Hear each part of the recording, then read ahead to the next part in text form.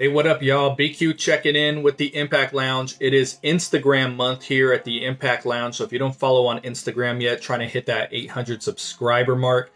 I've been doing some new kinds of content the last few days to uh, make the page a little bit different. So please head over, check out the Impact Lounge on Instagram. I'm going to put the link in the pinned comment of this video. Wanted to talk Slammiversary and the build up to Slammiversary, the amazing job that Impact is doing right now. Now, not too long ago, several months ago, I got on here, I laid down in my bed, and I recorded this video saying, Where's the buzz for Bound for Glory? I was super critical of it, and you guys got to understand for myself as a content creator, I am oftentimes at the mercy of what Impact does, good or bad.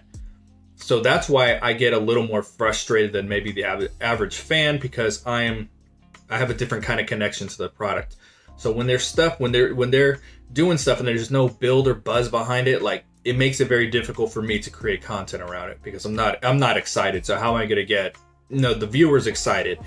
So you fast forward to now with Slammiversary, you know, and, and Bound for Glory, you know, you even had the Call Your Shot Gauntlet, which was featuring no one knew. You know, we were gonna get surprise entrance and everything, and still no one cared because they presented it as, you know, like they made this press release where they invited the uh, former manager of the Cubs and he didn't even show up. You know what I mean? How foolish they ended up looking for that. So even though they're having mystery participants and everything and that, and we got a couple good ones, no one cared.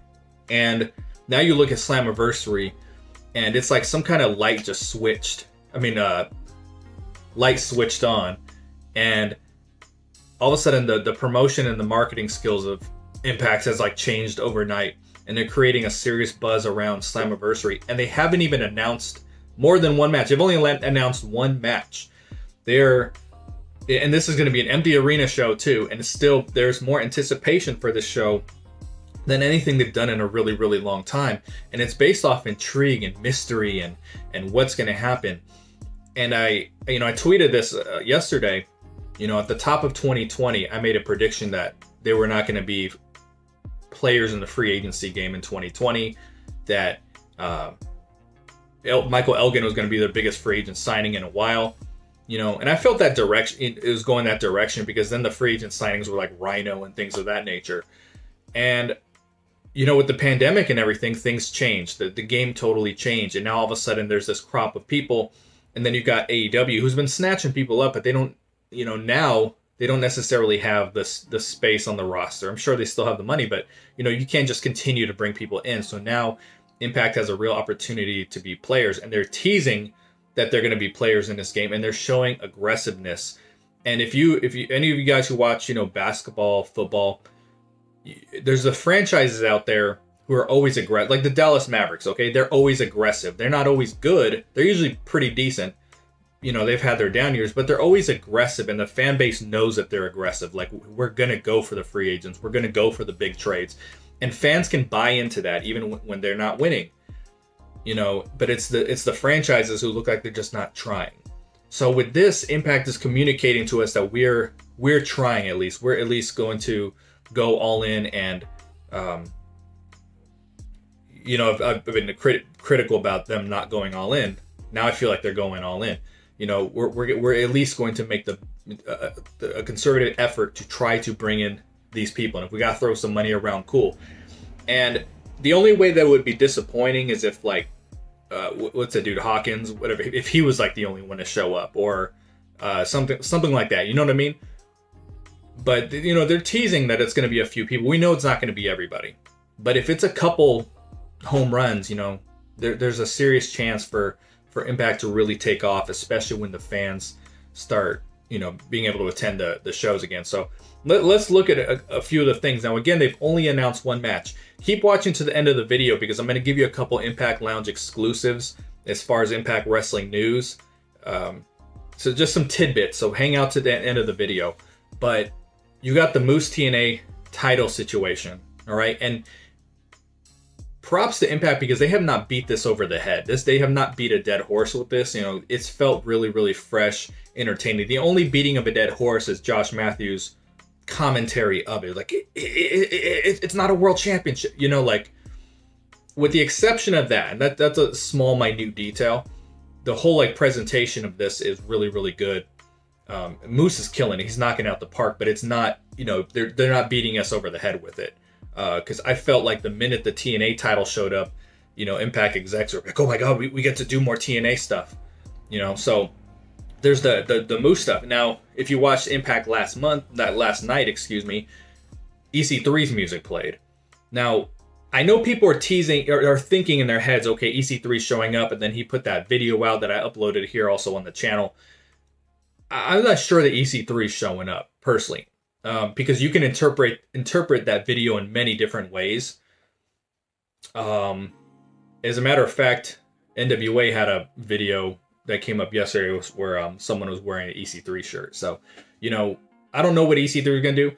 But I feel that Impact is is probably going to tease Moose for a couple weeks. We're going to see what happens next week if Moose wrestles or, or whatever. But I feel like it was EC3's music this week, and maybe next week it's somebody else's music. And I think that's going to build to an open challenge or a surprise opponent for Moose at the pay per view. So that that's really where I think it's going.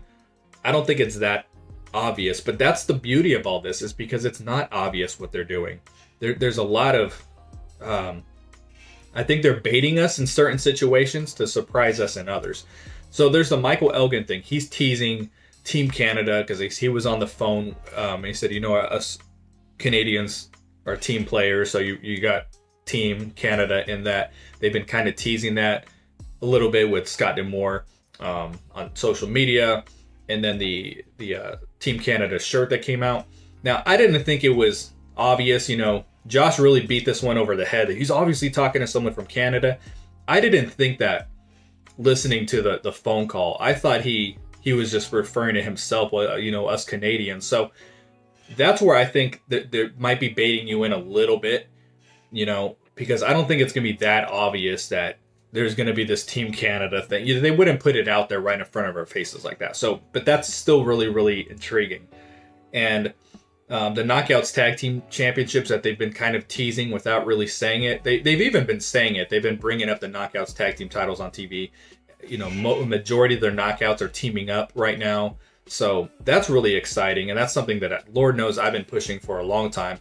At the end of this episode, they said that one former world champion was going to show up. At least one. That's what they said. At least one former world champion. So, you know, you, you've got EC3, Eric Young. There's obviously Kurt Angle who could have some kind of off-screen role, and he's talked about in the past possibly doing that. And it could fit into his personal schedule because now he's got a nutrition company or something he's running. So, you know, it's it's possible. Um, I'm trying to think who are who are some other uh, released world champions. I, I can't think off the top of my head at the moment, but that's really really intriguing as well. I think we're expecting it to be Eric Young though. Um, Madman Fulton now he paired up with Ace Austin at the end of the show and I wasn't sure if he was just there to attack Eddie or if he was there to help Ace. And it seems like he's there to help Ace. So, you know, there's a, the Ohio connection there. They, you could damn near do Ohio versus Canada on Impact Wrestling. It's, it's crazy. but anyway, um, so that's intriguing.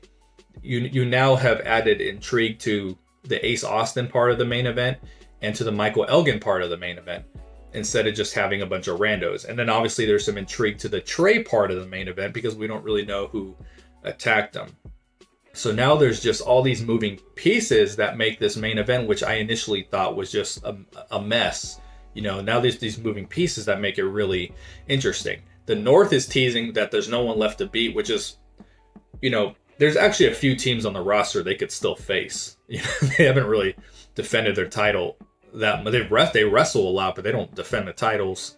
I think they still have to defend it against TJP and Fallah Bahh. Um, they haven't defeated, you know, uh, defended against Triple XL versus Reno Scum. You know, they didn't versus the Desi Hit Squad, even though I don't think they're together anymore. Uh, they didn't versus OVE, which they're not together anymore. But um, I feel like one of the reasons they split up Desi Hit Squad and OVE was to make room for some tag teams.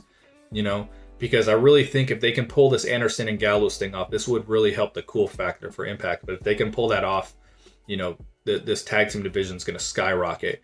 Um, and again, like I said, they've only announced one match. They're building this off intrigue, so um, I'm just really excited about it. And Josh and Madison are doing a good job, especially Madison, of just complementing the the mystery behind it on screen with with everything they're saying. You know, Madison talking about her sources and this and this. Um, so I, I got to give props. You know, when I sat there and I said Bound for Glory had no buzz, you know, I meant that. It had none whatsoever. And uh, Slammiversary is a different ball game. We're excited. There's probably gonna be a lot, lot of new people tuning into, especially because WWE seems to really be dropping the ball on their end right now, kind of with the COVID thing, you know. Uh, but um, and NWA is not really doing anything right now. You know, AEW is really the only competition in my estimation of empty arena wrestling and how it's you know what they're doing. And they got mike tyson freaking in the program right now. So when you do that and, and your impact you got to have you know you got to come with some heavy machinery as well. And they're, they're really doing that right now with the uh, the marketing promotion. So i got to give props. All right. So i said that i was going to get into a couple exclusive tidbits. Um, you know i had a conversation the other day and i can't i really can't give details on anything i say uh, there's certain times that I can, and there's just certain times I can't. But I'm but I'm going to deliver some of this information so you kind of have an idea. Um, but but I can't really give details, and I don't even necessarily know all the details. Uh, the first one is you know regarding Tessa Blanchard. All I was told regarding Tessa Blanchard is that things are really really blown over. I'm sorry, you got my cats fighting in the background there. Hey, sorry about that, guys. Uh, that the Tessa Blanchard thing is blown over. That that's really what I've been told. I don't know if there's any truth between, behind her not submitting those videos, but I'm told it's severely blown over. It's strictly because she cannot leave Mexico. It's it's not um, anything beyond that. Now, I think they extended the uh, the lockdown in Mexico. I don't know if we call it lockdown, but I don't think anyone could travel out of the country. I think that got extended. So really, what I see is a surprise competitor taking Tessa Blanchard's spot. But um, things are not as bad as with Tessa as the dirt sheets are making it sound. That's all that I'm I'm being told. Um, the tournament, which I was really critical about because I said it was a complete mess. You know, it came across like it meant nothing to most of the competitors.